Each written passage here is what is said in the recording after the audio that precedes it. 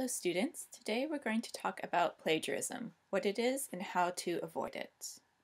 According to Cañada's academic integrity policy, plagiarism is the presentation of another's words, images, or ideas as if they were the student's own.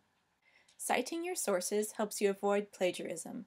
It also strengthens your own ideas and credibility, and shows your professor that you put effort and thought into your research.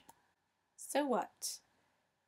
If you accidentally plagiarize, your grade will be lower and you might have to redo your paper.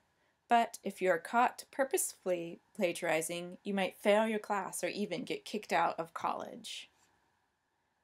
There are many citation styles. In this class, we will be learning MLA. MLA stands for Modern Language Association and is often used in English and the humanities. Whatever style you use, you need to be clear and consistent.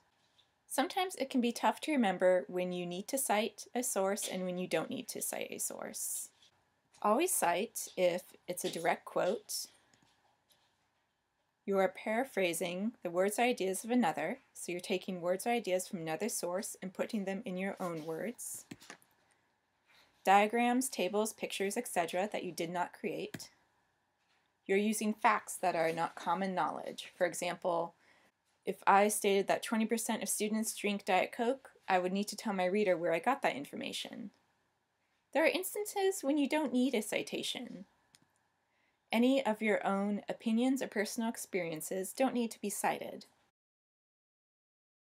If you're citing a common fact, like Alaska is the largest state in the US, you don't need to cite.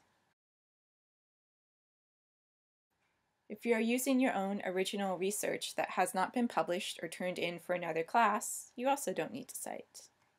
So for example, if you have an, an assignment where you need to go to the quad and poll students about their favorite sodas and write a, a paper summarizing your results, you would not need to cite your own study.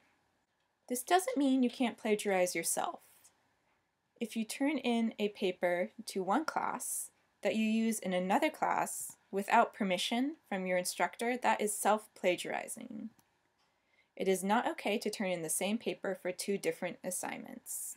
So remember, learning to properly cite helps you create better papers, avoid plagiarism, and shows that you did your research.